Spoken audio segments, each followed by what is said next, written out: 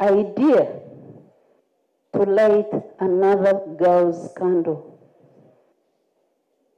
is a wonderful idea. I want to appreciate the executive. There was a girl, she came to school, she didn't have anything. When we went to chapel, she gave her testimony and she said, For me, I'm glad I'm here. And when the term ends, please give me a job here. Please, you remember? Give me a job here. I work so that I can get school fees for the next term. So when you think of such people, and you think that you can actually, you can actually afford to make a difference, that is what I call noble.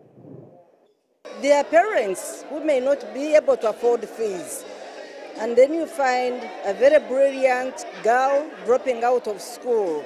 So as Bweranyangi Girls, Old Girls Association, we thought if we start something like a scholarship fund, and then the school identifies those, what I would want to call vulnerable girls, and we contribute through that uh, scholarship fund. It's one thing to be an OB or an OG, it is also another thing to add value. So we want to thank you very much for adding value to, to our school, Bweranyangi Girls Secondary School.